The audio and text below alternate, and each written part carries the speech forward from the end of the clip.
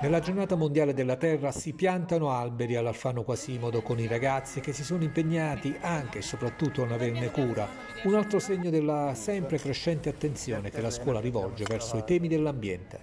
Anche perché con l'agenda 2030 noi siamo, eh, abbiamo preparato un percorso didattico già da qualche anno. Quest'anno l'iniziativa di Moto Perpetuo ci ha dato il là anche per abbellire il nostro spazio esterno che eh, diciamo vuole diventare uno spazio alternativo all'aula. Quindi sì, da sempre noi abbiamo sempre avuto eh, l'attenzione al rispetto dell'ambiente, eh, interno ed esterno. Eh, anche ad esempio le iniziative che abbiamo fatto quest'anno con il percorso delle acque, insomma noi nella nostra didattica ci teniamo a questo tipo di progettazione. Si trasmettono principi sani ai bambini?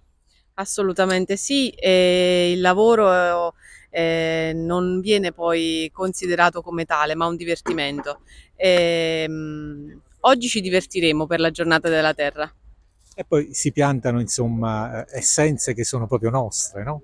Assolutamente sì, sono piante autoctone e sono piante che comunque hanno una, um, un valore anche territoriale, come il carrubo, come il corbezzolo, melograno e sorbo comune. Non è subito evidente il rapporto che esiste fra piantare alberi e l'attività di Moto Perpetuo, un'associazione che si occupa di persone con malattie neurodegenerative, eppure un nesso c'è. Io direi più di un nesso, poi noi siamo un poco dei sognatori e ci piace pensare che eh, quelli che sono i giorni di oggi eh, potranno essere cre- crescendo utili per noi che siamo gli anziani eh, e un domani che a loro volta saranno anziani potranno trasmettere una forma di, eh, di te- trasmissione di testimone la sensibilità e la cultura eh, verso l'ambiente che mh, troppo spesso non viene considerato nella sua giusta dimensione.